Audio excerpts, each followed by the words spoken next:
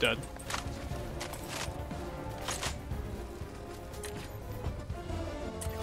Sure hope I hit the personal quota for this. I don't want Joe.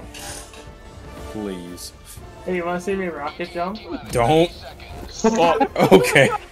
Okay, Joe. rocket jump. That sounds dangerous. Yes, it is. You didn't jump though.